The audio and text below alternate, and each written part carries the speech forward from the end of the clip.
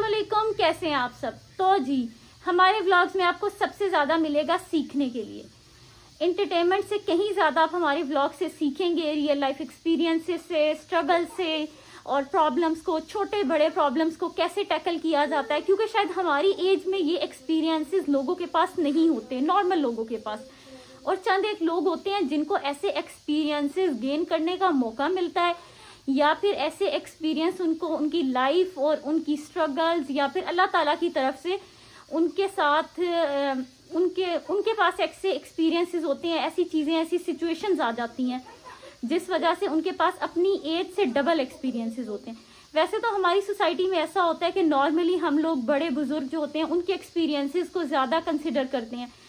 और नॉर्मली हमें ये मिसाल नहीं मिलती कि छोटी एज के बच्चे टीनेजर्स या फिर ट्वेंटीज़ में जो लोग होते हैं, उनके एक्सपीरियंसेस को, या फिर वो बड़े बड़े से फैसले करें, बहुत बड़े बड़े से वो मामला को हैंडल करें, ऐसी चीज़ें हमें नहीं मिलती। तो हमारे ब्लॉग्स में आपको ये सब देखने के लिए मिलेगा। और इन शॉर्ट दूसरी बात ये कि आप लोगों से भी मेरा क्वेश्चन है कि आप लोगों को क्या लगता है? एक्सपीरियंस ज़्यादा मैटर करता है या एज ज़्यादा मैटर करती है?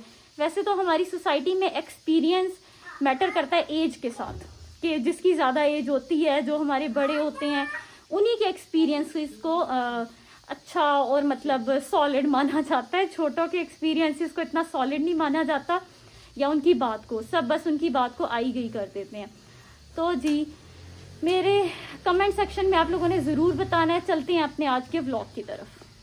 अभी तो सभी सो रहे थे, लेकिन मैंने सुबह सुबह उठ के सबसे पहले सिपारा पढ़ा क्योंकि मेरा सिपारा ना काफ़ी पीछे रह रहा था दो तीन दिन घर के काम, बाहर के काम, और फिर उसके बाद अगर सुबह या रात को बैठो तो ये जो आना है ना, वो नहीं पढ़ने देती। अभी साढ़े बारह हो रहे थे और सभी उठ गए थे। आपको पता है रमज़ान में सब लेट उठते हैं, जो भी घर में होते हैं, आदि के एग्ज़ाम्स होने वाले हैं, एनअल्स, और वो अपने पढ़ने की तैयारी कर रहा था। रात को भी लेट तक पढ़ता है तो फिर अभी लेट उठा और फिर अब पढ़ने लगा ये जी यहाँ पे आदि की सारी तैयारी श्यारी हो रही है और आना मैडम भी आ गई हैं आदि को तंग करने के लिए। आपको पता है इस एज में बच्चे हर किसी के पास पहुँच जाते हैं। जहाँ पे भी कॉपीज़ बुक्स नज़र आ रही हो ना तो उनको अपनी पढ़ाई सबसे पहले नज़र आ जाती है कि भाई हमें पढ़ा दो सबसे पहले। हम बच जा रहा था अपनी यूनिवर्सिटी अपने थोड़े से काम के लिए उसने अपनी ट्रांसक्रिप्ट वगैरह अप्लाई करनी थी। हम्म, भोली चल मुझे ना डाली बीच में। जैसे अच्छे रील में चार बंदे नहीं डाले तुम मुझे ना डाल। मैं डालूँगी डालूँगी।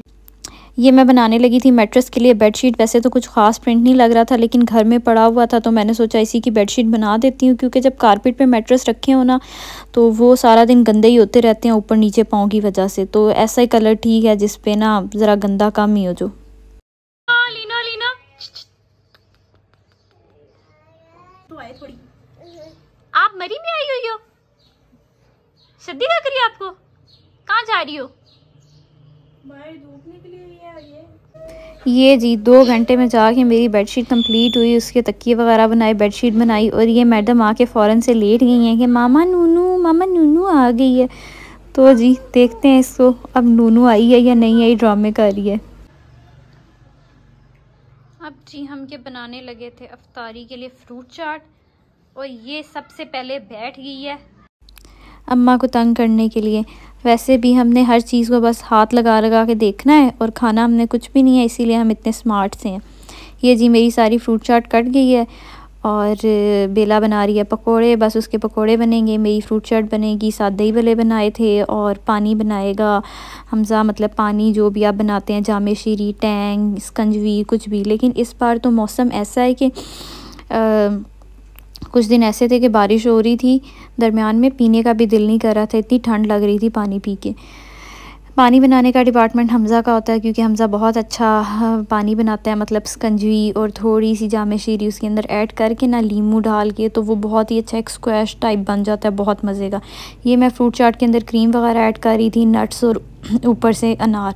अनार हमारे थोड़े से रह गए थे, क्योंकि मैडम को अनार पसंद है तो वो थोड़े बहुत अनार खा लेती हैं, फिर मैं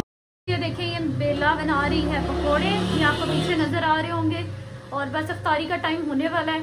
हमने सारी चीज़ें वीज़ें भी रख ली हैं। अब अफ्तारी करते हैं। हमारे घर में पकोड़े बहुत ज़्यादा मज़े के बनते हैं। इन आप लोगों के साथ इनकी रेसिपी भी शेयर करूँगी। और ये नगेट्स फ्राई हो रहे थे साथ में थोड़े से। इफ्तार में बस पाँच दस मिनट रह गए थे। हम सब बैठ के दुआ कर रहे थे। मेरी छोटू सी आना, ये भी हम सब के साथ दुआ कर रही थी। और अल्लाह ताला बस हम सब की जायज़ और नेक ख्वाहिशात और हम सब की दुआओं को कबूल करे और हम सब के लिए आसानियाँ करे। ये मैं आना को जूस ढाल के दे रही थी। उसके स्ट्रॉ फीडर में ये स्ट्रॉ फीडर मैंने दराज से मंगवाया था और इसका लिंक मैंने इंस्टा दराज हाइलाइट्स पे शेयर किया हुआ है। अगर किसी को मंगवाना हो तो वहाँ से ले सकते हैं। बहुत अच्छा फीडर है। क्वालिटी भी बहुत अच्छी है रीज़नेबल प्राइस में। सहरी के लिए सालन बनाना था मुर्ग छोलों का तो ये मैंने चने डिप करके रखे हुए थे। और जी, ये हमारे मुर्ग छोले तैयार। इतनी जल्दी तैयार नहीं होते। काफ़ी टाइम लगा लेकिन ये वीडियो में ही आपको बस जल्दी जल्दी तैयार हुए नज़र आते हैं। बहुत मज़े के लग रहे थे। मेरा दिल कर रहा था, अभी अभी नान मंगवा के ना खा लूँ। चलें जी दुआ में याद रखिएगा। मेरे चैनल को लाइक शेयर सब्सक्राइब करना ना भूलिएगा। अल्लाह হাফেজ